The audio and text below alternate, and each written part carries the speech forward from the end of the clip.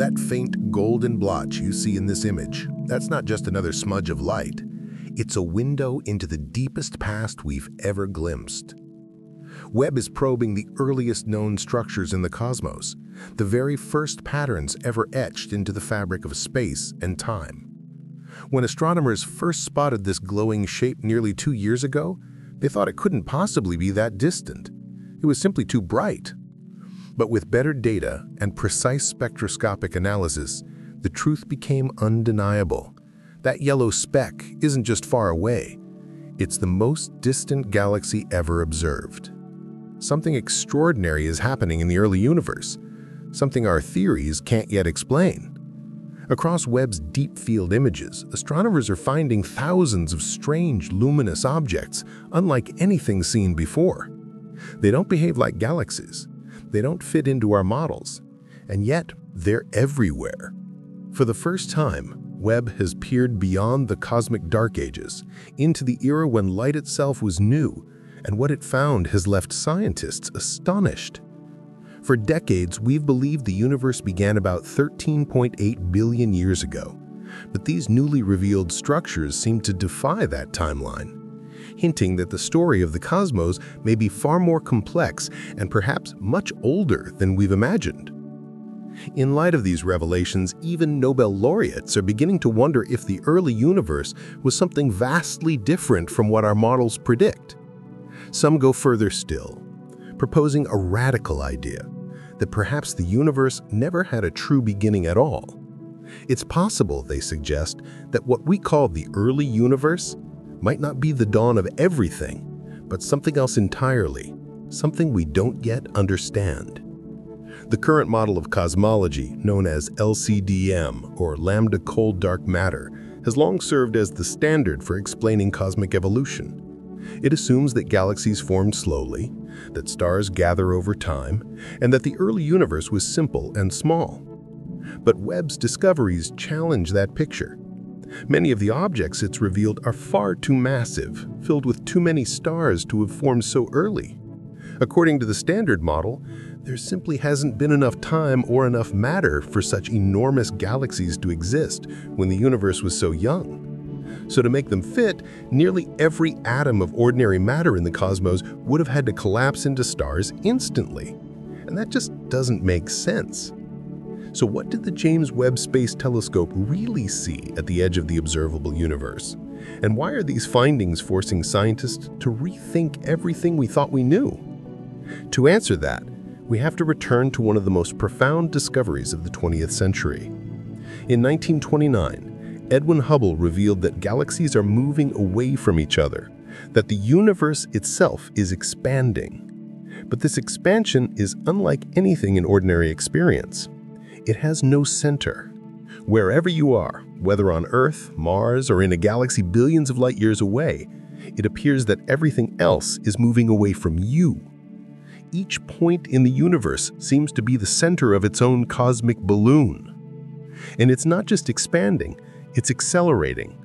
Distant galaxies are racing away from us faster than nearby ones, as if pushed by an invisible hand. Now imagine standing here on Earth, looking deep into the universe through Webb's powerful mirror. The farther out you look, the farther back in time you're seeing, and the faster those galaxies appear to recede. At a certain distance, there comes a boundary, a region of space where galaxies are moving away from us at exactly the speed of light. Astronomers call this the Hubble sphere, a kind of cosmic horizon beyond which galaxies recede even faster than light itself. Those galaxies are still there, still part of the universe, but their light can never reach us. They're sailing forever beyond our view, carried by the relentless expansion of space. And somewhere beyond that horizon, lies the edge of what we can ever know. Common sense might tell us that light from galaxies moving away faster than light itself should be impossible to see, forever lost beyond reach. But the universe, as always, defies common sense. Astonishingly, we can still observe galaxies that exist beyond the Hubble sphere, the region where cosmic expansion carries galaxies away at the speed of light. How? because the Hubble sphere itself is not fixed. it's expanding. As the universe accelerates, this invisible boundary grows, drawing more distant galaxies into our view, even those that are receding faster than light. The light they emitted billions of years ago is still stretching across space, and over time that light can catch up with us as the fabric of space expands. But there is a limit, a cosmic horizon beyond which no light will ever reach us. Scientists call this boundary the observable universe, a vast cosmic bubble roughly 92 billion light-years across. When we gaze toward its edge, we're not seeing empty darkness. We're seeing the faint afterglow of creation itself, the cosmic microwave background, the oldest light in existence, echoing from a time when the universe was only 380,000 years old. Every direction we look, every patch of sky, is a window into the deep past. Take, for instance, the most distant galaxy ever detected by the James Webb Space Telescope, JADES-GS-Z14-0. When Webb captured its light, it was looking back more than 13 billion years, to a time when the universe was just 290 million years old, a mere infant compared to today. But that galaxy no longer exists as we see it. In the present day, it has moved far beyond our observable horizon, its light forever cut off from us by the relentless expansion of space.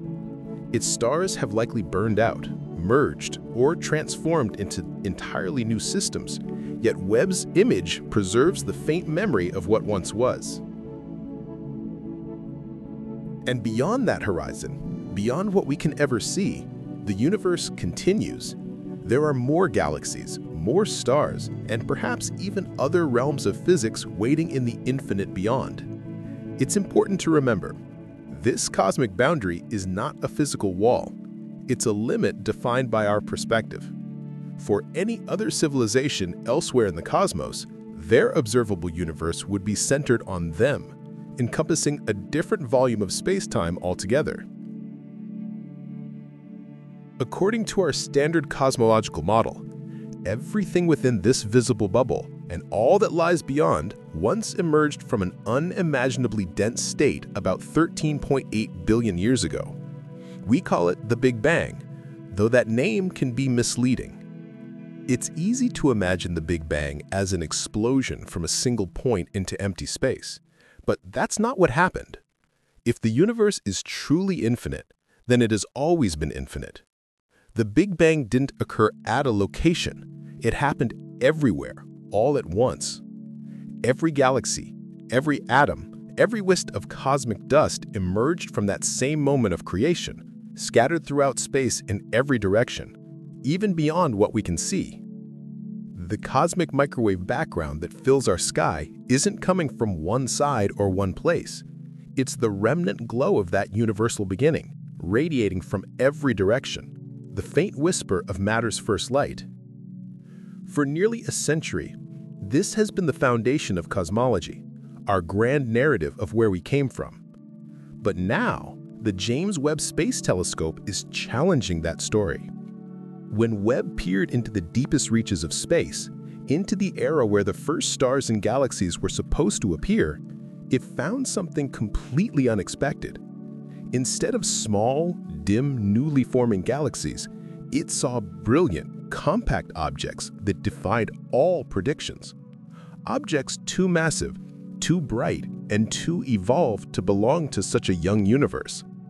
These strange lights shouldn't exist, and yet there they are, shining across billions of years, rewriting everything we thought we knew about cosmic history.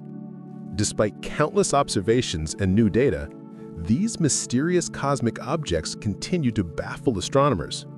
Recently, a study published in the Astrophysical Journal revealed something extraordinary. Researchers identified 87 candidate galaxies that may have existed just 200 to 400 million years after the Big Bang.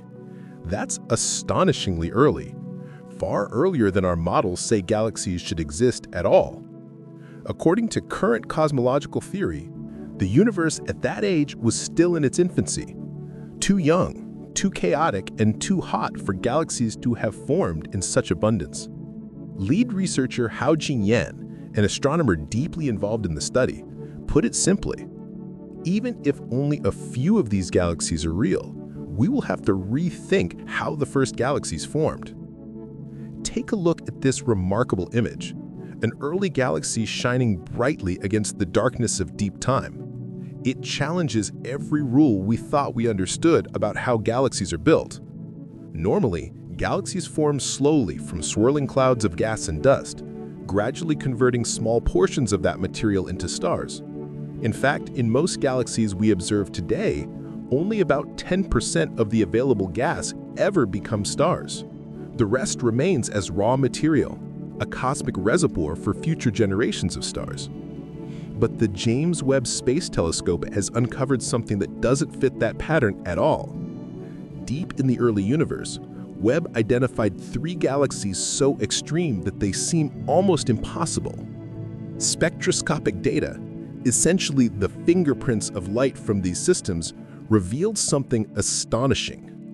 These galaxies appeared to have turned nearly 100% of their surrounding material into stars. That's not just unusual, it's supposed to be impossible. According to our current models, no known process could convert all available matter into stars so quickly after the Big Bang. It's as if these galaxies skipped the normal rules of cosmic evolution and went straight from chaos to completion. This discovery has left astronomers genuinely perplexed. How could these galaxies form so soon? Why are they so massive, so bright, and so well structured in a universe that should have been still shrouded in darkness?